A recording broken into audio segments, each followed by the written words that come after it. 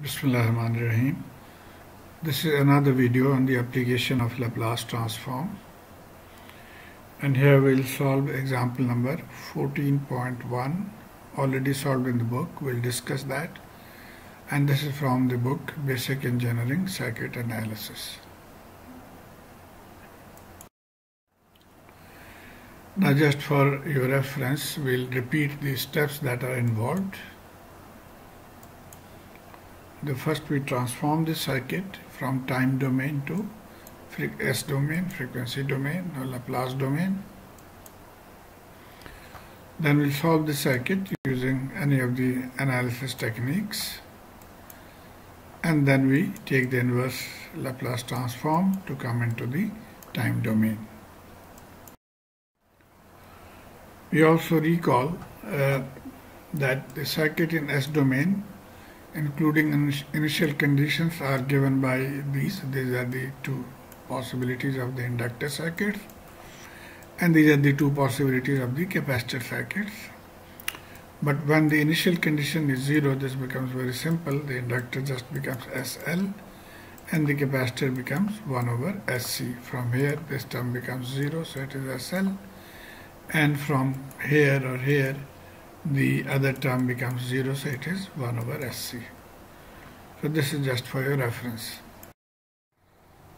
Okay, now let's start with example number 14.1. This is solved in the book, but we'll try to make it slightly easy if possible.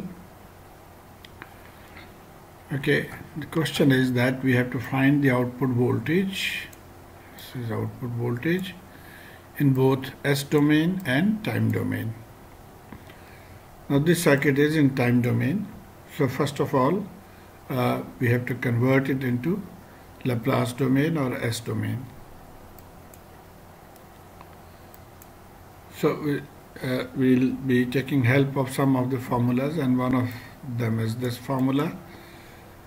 Uh, now our input is in this shape e raised to the power minus t, e raised to the power minus eat.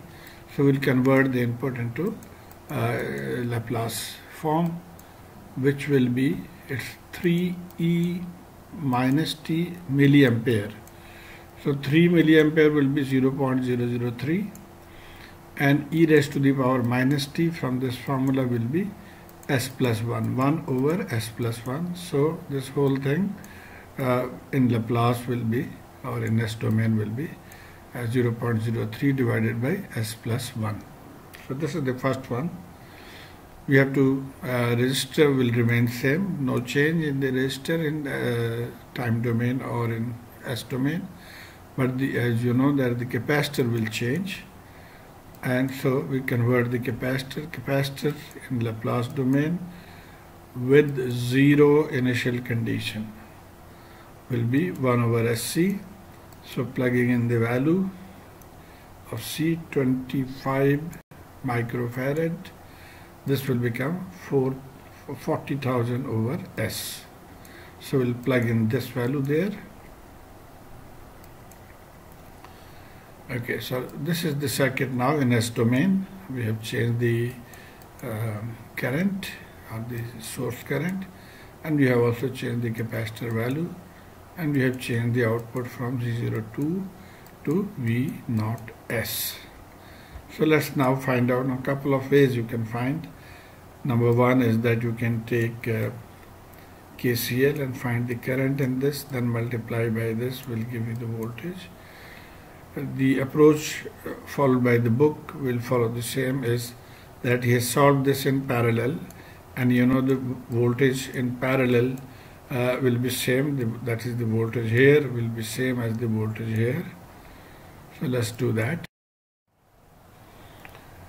Okay, so this is our final circuit in S domain and now we need to find the output voltage and there are a couple of a couple of ways of finding this output voltage. One of the ways as I mentioned earlier was that we could have uh, used the CDR to find current in this branch and then find the voltage. The other way is that we find the totally parallel resistance and then find the voltage across the parallel uh, parallel impedance that will be the voltage or you could have also used nodal method, mesh method, whichever way you feel convenient. So since the book has taken these two in parallel, so we'll just follow that. So writing these two in parallel and multiply by the current, we find the output voltage. And now let's, uh, since they are in parallel and you know that in parallel the equivalent circuit can be written as multiplication of the two divided by sum of the two.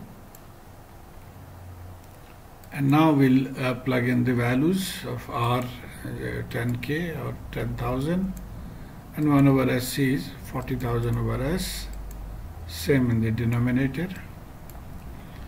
And from here you can see that we can take uh, common 10,000 and they'll get cancelled. Or uh, we first of all we are multiplying this with the uh, s term so we get this. And now we take common. So this simply 10,000 10,000 from both will get cancelled. So it will be 40,000 over s and 1 plus 4 divided by s. This term remains as it is. And now the denominator s in both gets cancelled that is 40,000 over s plus 4 and this when we multiplied we get 120 at the numerator and s plus 4 divided by s plus 1 now since there are two uh, factorial terms at the denominator so we have we have to take help of partial fraction and we can write it in terms of a divided by s plus 4 plus b divided by s plus 1 these are now the two unknowns that we have to first of all find.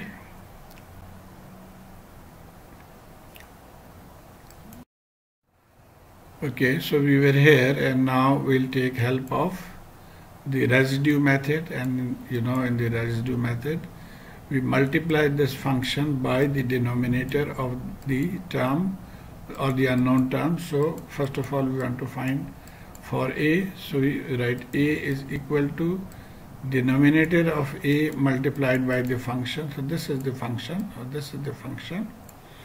And then we put the condition that s plus 4 is equal to 0. That means s is equal to minus 4. So this is the condition.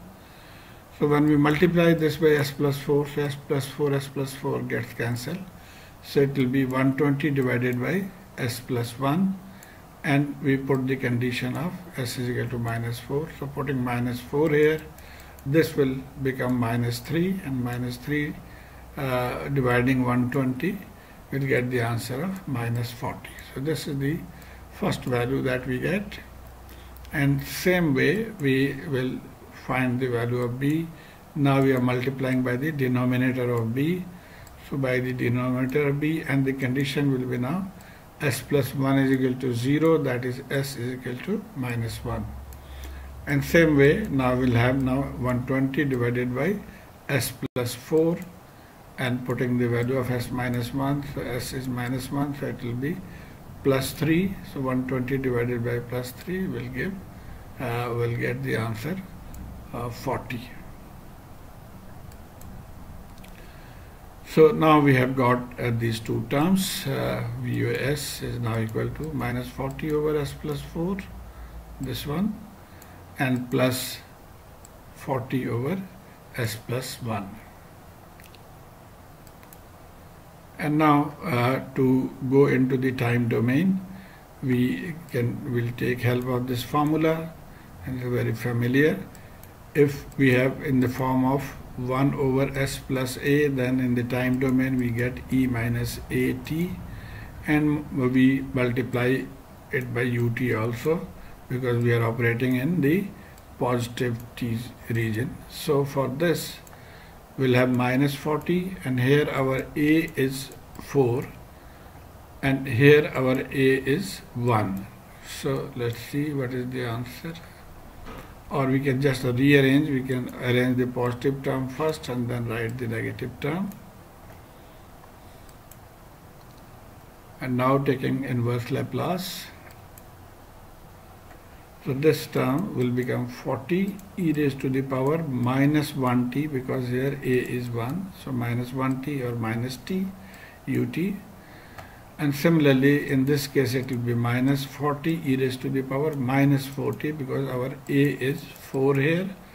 So from here it will be minus 4 t ut and taking ut common we can write the final answer uh, as it is given in the book. So I hope this gives you an understanding as to how to solve this type of a problem. Thank you.